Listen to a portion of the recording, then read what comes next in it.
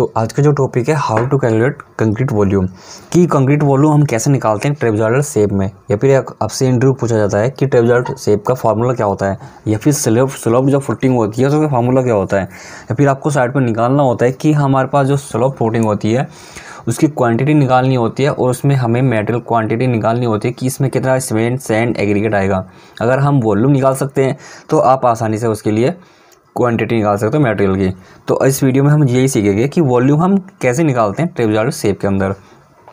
तो सबसे पहले ही देखना है कि जो ट्रेपजार्ड शेप होता है, उसके अंदर हमारे पास दो शेप होती है। एक तो हमारे पास होता है रेक्टेंगुलर ठीक है? एक होता है ट्रंकेटेड पिरामिड की तरह। जैसे कि आपको ये देखा होगा आपने ट्रंकेटेड पिरामिड इस तरह से। तो ये जो कौन मिल जाते हैं ठीक है, अगर हम इसकी भुजा को, ये वाली भुजा को इसको काट देते हैं तो ये वाला भुजा को काटने के बाद हमारे पास ये एरिया बचता है। तो इस वॉल्यूम को हम कैसे निकालते हैं? तो इसी को बोलेंगे हम ट्रंकेटेड पिरामिड ठीक है? तो इस वॉल्यूम का निकाल देंगे। इस वॉल्यूम का निकालना आसान है, इसके लिए हमें फॉर्मूला से निकालेंगे, और ये आपका कॉलम है, जो भी आपको कॉलम को पता है कि वॉल्यूम कैसे निकालते हैं एल इंटू बी इंटू चौड़ाई, आपकी लंबाई, इसकी ब्रेथ विर्थ एंड इसकी लंबाई। तो वॉल्यूम हमें निकालने के लिए सबसे पहले देख लेना रेक्टेंगुलर शेप के अंदर। जो ये बॉटम होता है रेक्टेंगुलर शेप के अंदर, ये वाला शेप जो ये शेप होता है रेक्टेंगुलर तो इसकी वॉल्यूम निकालने के लिए आपको फार्मूला होता है हमारे पास लंबाई गुना चौड़ाई गुना ऊंचाई। तो ऊंचाई कौन सी हमारे पास है? एच वन तो ये हाइट है। तो इसके अंदर हमारे पास दे दिया है height one and height two तो हाइट वन निकालने के लिए हमारे पास ट्रंकेटिव पिरामिड जो रेक्टेंगुलर शेप का जो शेप है तो उसमें वॉल्यूम निकालने के लिए लंबाई है हमारे पास, चौड़ाई है। तो पाँच फीट पाँच फीट हमारे पास ये हो गए चौड़ाई ठीक है? और इसकी ब्रेड्थ हो गई चार फीट तो पाँच फीट बाई चार फीट इंटू वन फीट तो वन फीट हमारे कौन सी है? हाइट हो गई। तो वॉल्यूम आप आसानी से निकाल सकते हो किसी भी वॉल्यूम रेक्टेंगुलर शेप के अंदर। कॉलम की निकाल सकते हो वोटिम की निकाल सकते हो जिसके अंदर सिंपल आपने लंबाई चौड़ाई गुनाई ले, लेते हो। तो नेक्स्ट अगर हम टोटल की वॉल्यूम निकालेंगे, जो ये वॉल्यूम है हमारे पास, जो ये सेप है, जब हम इसकी वॉल्यूम निकाल देंगे, इसकी वॉल्यूम निकाल देंगे, जब हम दोनों को प्लस करते हैं तो वॉल्यूम आ जाती है हमारे पास टोटल वॉल्यूम तो वॉल्यूम ऑफ़ ट्रंकेटेड पिरामिड तो ट्रंकेटेड पिरामिड की वॉल्यूम हमारे पास, इसकी वॉल्यूम हम निकालेंगे तो इसके निकालने के लिए फार्मूला है एच बाई थ्री हाइट हमारे पास जो ये वाली हाइट है, यहाँ से जो ये वाली हाइट है, इसकी हाइट को हमें तीन से डिवाइड करना है. तो ए वन ब्रैकेट स्टार्ट करने के बाद हम यहाँ पे गुना भी लिख सकते हैं।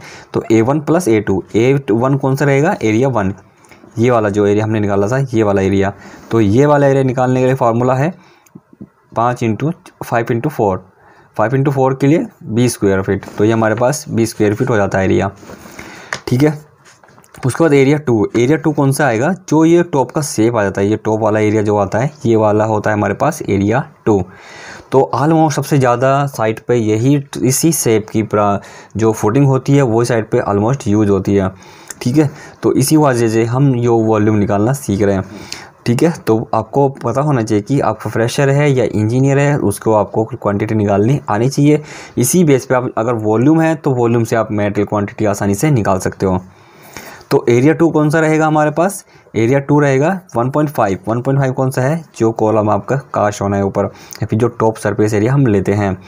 तो 1.5 पॉइंट फाइव इंटू वन तो वन कौन सा होगा? ये वाली चौड़ाई। जो भी ये इधर चौड़ाई रखेंगे, ये वाली चौड़ाई रखेंगे तो सिंपल एरिया हमारा होता है क्रॉस सेक्शनल एरिया तो वन से गुना करते हैं तो हमारे पास होता है 1.5 स्क्वायर फीट तो हमारे पास कितना हो गया? डेढ़ स्क्वायर फीट और हाइट की बात करते हैं तो हाइट भी हमारे पास कितना है? 1.5 फीट तो ये वाली हाइट जो हमारे पास है, ये वाली सेप की जो हाइट है 1.5 फीट मतलब एक फीट छः इंच या फिर अठारह इंच तो वॉल्यूम जो फार्मूला है हमारे पास फार्मूला में पुट करते जाना है और वॉल्यूम आसानी से निकल जाती है.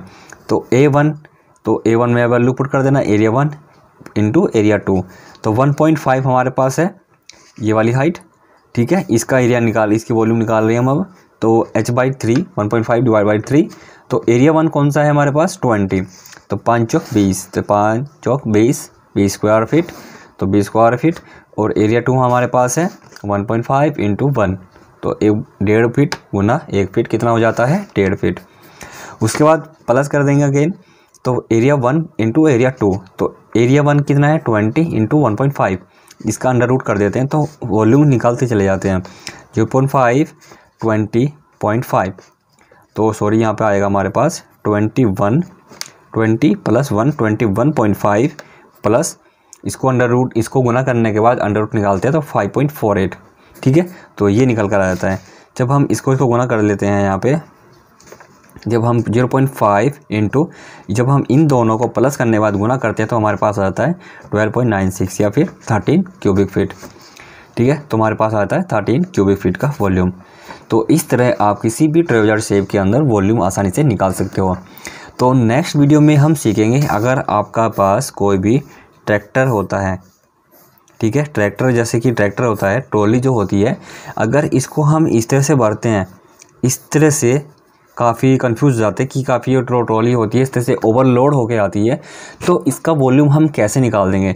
तो इसकी जो वॉल्यूम है, हम दो तरीक़ों से निकालना सीखेंगे method one and method two तो नेक्स्ट वीडियो को ज़रूर देख लेना। अगर आप चैनल पर नए आए हैं तो प्लीज़ चैनल को सब्सक्राइब कर लीजिए और बेल का बेल आइकन भी प्रेस कर दीजिए, जिससे कि जो नेक्स्ट आने वाली जो वीडियोज़ हैं आपको मिलती रहेगी। तो आई होप आपको टॉपिक क्लियर हो गया। प्लीज़ अपने फ्रेंड को साथ शेयर कर देना और वीडियो को लाइक ज़रूर कर देना। थैंक यू मिलते हैं नेक्स्ट वीडियो में।